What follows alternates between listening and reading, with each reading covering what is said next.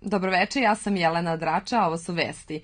Gotovo bez rasprave, odbornici Skupštine opštine Stara Pazova prihvatili su na današnjoj sednici sve odluke rešenja sa dnevnog reda. Među važnijim tačkama koje su se našle pred odbornicima bila je izmena i dopuna plana detaljne regulacije dela centralne radne zone u Novoj Pazovi. Kako za RTV Stara Pazova nakon sednice lokalnog parlamenta objasnio Darko Isailović, direktor urbanizma. Prema prethodnom planu neke od delatnosti u toj zoni bile su ograničene, odnosno nije bila moguća izgradnja proizvodnih pogona, što je ovom odlukom promenjeno, a to automatski znači otvaranje većeg broja novih radnih mesta. Odbornici Skupštine opštine Stara Pazova usvojili su na 24. sednici i izmene i dopune odluke o osnivanju holističkog rehabilitacionog centra, koje proističu iz zakona o socijalnoj zaštiti, kojim je propisano da jedinica lokalne samouprave obezbeđuje u budžetu sredstva za delatnost i unapređenje u ovoj oblasti.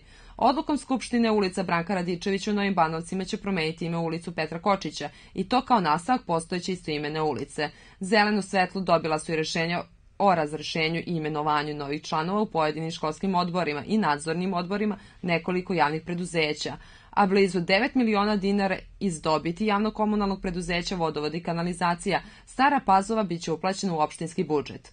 U okviru odborničkih pitanja odbornik Srđo Komazec je pitao šta je sa sanacijom regionalnog kanalizacionog voda, a odbornik Slobodan Ilić je imao pitanje u vezi sa statusom zgrade hotela Srem.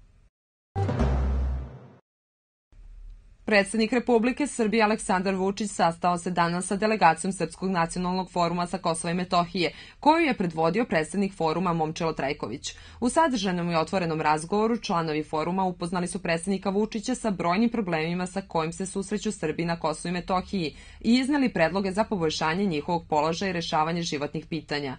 Predsednik je izrazio spremnost da deo iznetih predloga bude prihvaćen, a da opravdanost i izvodljivost preostalih predloženih rešenja budu razmatrani u narednom periodu.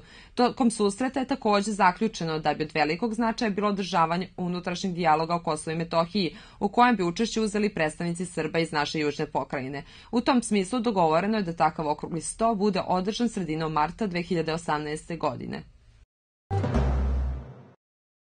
Austrijski kancelar Sebastian Kurz izjavio da će sa predsednikom Srbije Aleksandrom Vučićem tokom njegove predstojeće posete Beču razgovarati o tome kako Austrija tokom predsedavanja Evropskoj uniji u drugoj polovini godine može doprineti daljem podsticanju evropske perspektive Srbije.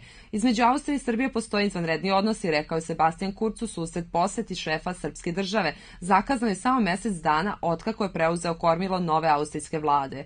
Jedan od najmlađih austrijskih i evropskih političara uveren je da će Srbija pristupiti Evropskoj uniji u rokovima koje predviđa Evropska komisija, ukoliko započete reforme budu nastavljene tempom kojih je sprovodila Vučićeva vlada, a Austrija će, kaže, raditi na njihovom posticanju, kao i na daljem produbljivanju bilateralnih odnosa dve zemlje.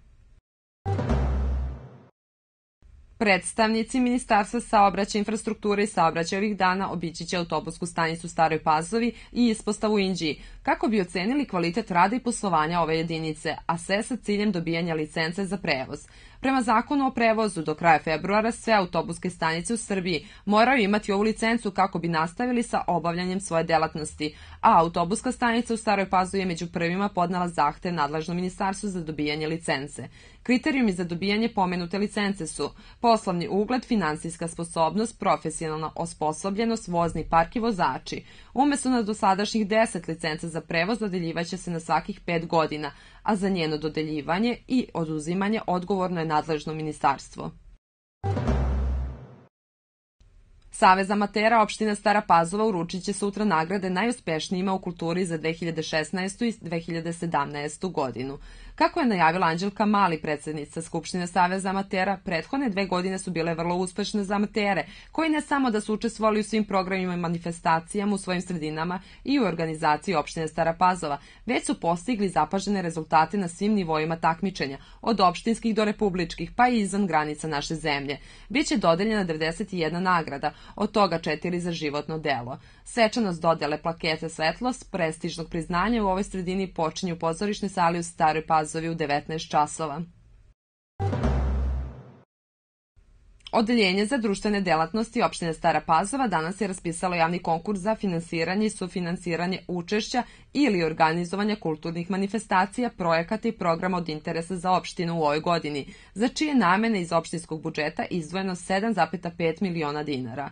Pravo učešće na konkursu imaju subjekti u kulturi, čiji projekat sa kojim konkurišu mora biti isključivo iz oblasti kulture i umetnosti. Konkursna dokumentacija koja se može preuzeti na zvaničnom sajtu opšte ili lično informativnom pultu opštinske uprave mora sadržati opis projekta, realan i održim finansijski plan i dodatnu dokumentaciju.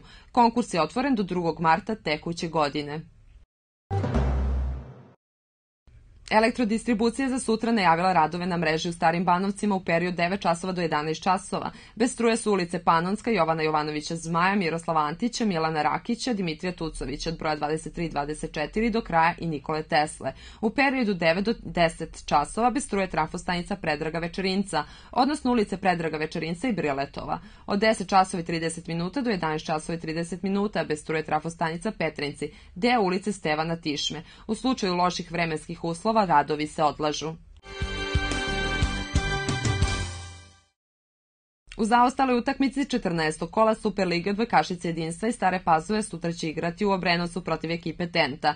Jedinstvo je trenutno četvrto na tabeli sa 26 bodova, a Ten se nalazi na sedmom mestu sa 15 bodova. Utakmica u Obrenovcu će početi u 19 časova.